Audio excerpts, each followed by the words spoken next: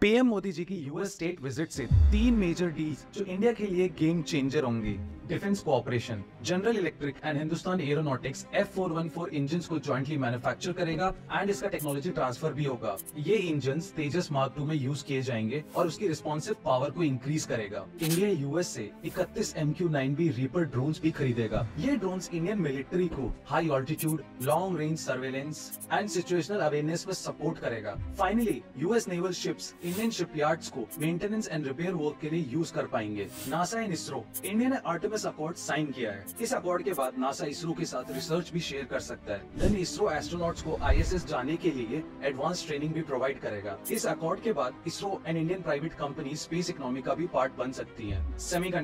micron Gujarat में semi plant setup करेगा Lam research thousand Indian engineers को एडवांस सेमीकंडक्टर टेक्नोलॉजी में ट्रेन करेगी आपकी क्या लगता है इन डील्स के बारे में